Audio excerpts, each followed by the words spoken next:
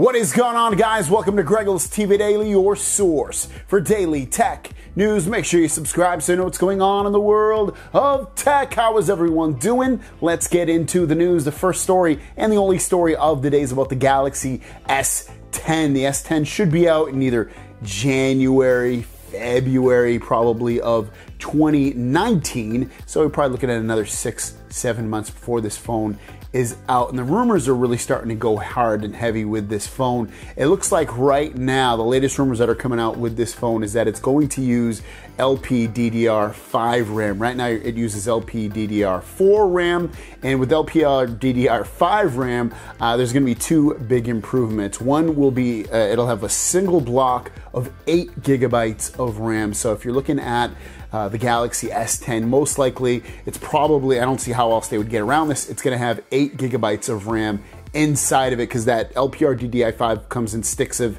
8 gigabytes of RAM. That's why I get the 8 gigabytes of RAM number with that phone. The other thing is LPDDR5 versus DDR4 is twice the speed and it also uses the same amount of voltage. So you're looking at something that's going to use basically the same amount of power you're gonna get more speed and we're gonna get more RAM. So it's great. Obviously, that's gonna improve performance and it's just gonna be a better overall experience. The other two things are it should have a 5G networking built into it. So right now, where a lot of us are still on LTE networks, maybe an LTE FA 5G network, but when 5G actually launches over the next, you know, end of this year, 2019, 2020, 2021, and beyond, the Galaxy S10 will already be built for it because it have that 5G chip built right into it. The other and last thing is UFS 3.0. Now, right now we're on UFS 2.1. That's where the storage unit is. That's the speed of the storage unit.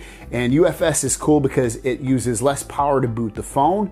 And also you're going to get better performance, two times the speed of UFS 2.1. So overall, the Galaxy S10 and then it's supposed to have like three cameras on, uh, on the back. So there's all kinds of crazy stuff with the Galaxy S10 that are supposed to happen with this phone. So you're looking at probably one of the best performing phones in 2019. When that phone comes out in 2019, a lot of these phones will probably have UFS 3.0, 5G networking, um, it, just all the same kind of specs. Generally, when you see these phones, especially on Android, almost all of them have the same specs. So this is probably a precursor to what the the, the main phones are going to have next year. But very exciting.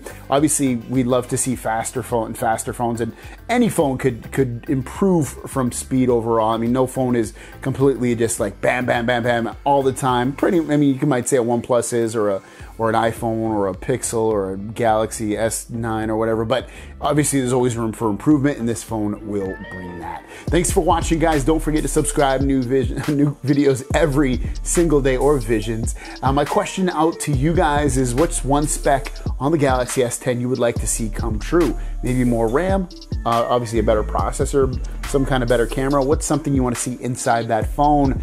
That maybe might not happen or you know you just want to happen for sure. Let me know in the comments down below. Thanks for watching guys and i will see you down the road. Peace